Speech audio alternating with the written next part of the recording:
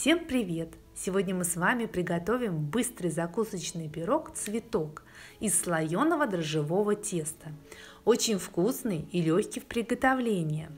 С этим пирогом справится даже ваш ребенок. Итак, нам понадобится слоеное дрожжевое тесто, бекон, любая ваша любимая колбаса, помидор и сыр. Сначала режем колбасу копченую на мелкие кусочки. Далее я взяла бекон. Обязательно попробуйте именно с беконом, так как придает вкус копчености. И натираем сыр. Далее раскатываем тесто. У меня э, дрожжевого теста два пласта. С каждым проделываем а, то же самое. То есть раскатали и далее режем вот такие прямоугольнички. У нас получилось с вами 12 прямоугольничков. 6 у одного пласта, 6 у другого. Далее выкладываем на каждый прямоугольник колбасу, бекон. А начинки не надо слишком много, а то она у нас может выпад, ну, выпасть. Далее выкладываем помидоры и сыр. И начинаем скручивать вот такие вот рулетики. Концы можно закрепить. И всего у нас с вами получилось 12 рулетиков.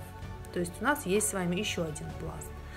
А, далее а, я взяла три рулета и разрезала их вот так вот пополам. Это у нас будет с вами середина нашего цветка.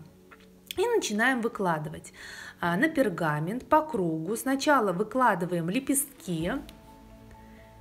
И далее в середину выкладываем наши разрезанные с вами а, рулеты. Напомню, я разрезала три рулета. Все это выкладываем, так как тесто у нас дрожжевое, ему необходимо немножко а, постоять хотя бы минут 40 под полотенцем. Прошло время и все это смазываем я смазываю желток плюс вода. Далее выпекаем при температуре 180 градусов 20-25 минут до румяной корочки.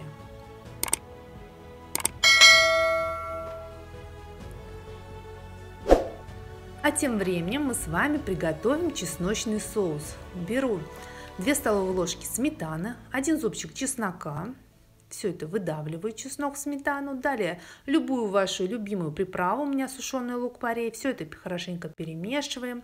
И необходимо еще посолить. Соус готов, обязательно его сделайте. Мой пирог готов, он получился воздушный, румяный и очень красивый. Только посмотрите, какой красавец.